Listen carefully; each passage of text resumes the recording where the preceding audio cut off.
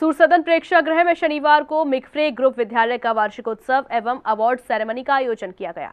कार्यक्रम में बतौर मुख्य अतिथि के रूप में कैबिनेट मंत्री प्रोफेसर एसपी सिंह बघेल मौजूद रहे। सूर सदन प्रेक्षागृह में शनिवार को मिगफ्रे ग्रुप के विद्यालयों का वार्षिक उत्सव एवं अवार्ड सेरेमनी का आयोजन किया गया। कार्यक्रम में बतौर मुख्य अतिथि के रूप में कैबिनेट मंत्री professor S P Singh Baghel मौजूद रहे। इस दौरान बच्चों ने मंच पर मंत्र मुग्ध कर देने वाली सामूहिक नृत्य प्रस्तुति दी, जिन्हें सभी दर्शकों ने खासा पसंद किया।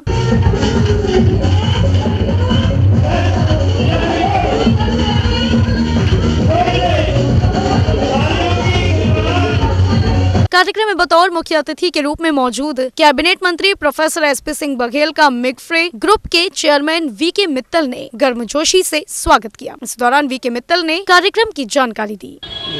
इस अवसर पर बच्चों द्वारा रंगारंग कार्यक्रम की प्रस्तुतियाँ दी जा रही है और उनके पूरे वर्ष के कार्यकलापों पर आधारित उनको पुरस्कृत किया जा रहा है। सभी को best attendance award best teacher award best parents award एवं बेस्ट परफॉर्मेंस अवार्ड भी दिया जा रहा है। साथ ही बच्चे जो प्रतिभा का प्रदर्शन कर रहे हैं, उसके लिए सभी को सांत्वना पुरस्कार भी दिया जा रहा है।